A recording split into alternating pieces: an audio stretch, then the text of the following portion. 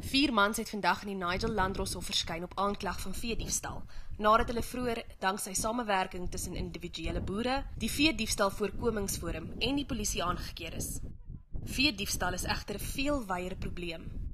Manjo Ranch is een van die plase waar die afgelope 3 maande knaand onder veediewe deurgeloop het.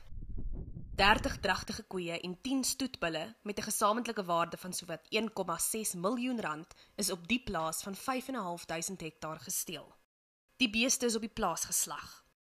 Kommersiële boer Tony de Costa sê dis boonop 'n wrede misdaad.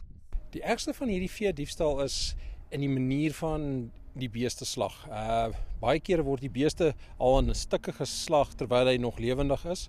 Ons het al gevalle gekry waar die hele rugstring van 'n bil oopgekap is uh terwyl die bil nog lewendig is.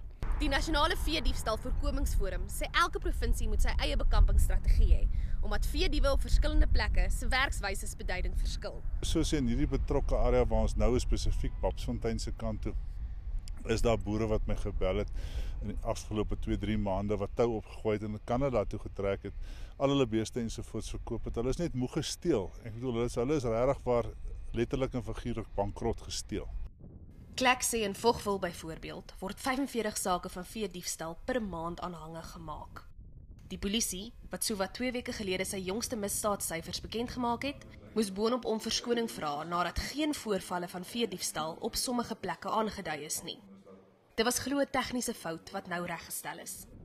Sommige kenners sê gefrustreerde boere meld al hoe minder voorvalle van vee diefstal by die polisie aan. Hoewel die getal gevalle van vee diefstal wat wel aangemeld is, steeds die afgelope finansiële jaar met 1,8% gestyg het. Karla Kutse, Enis, Nigel in Gauteng.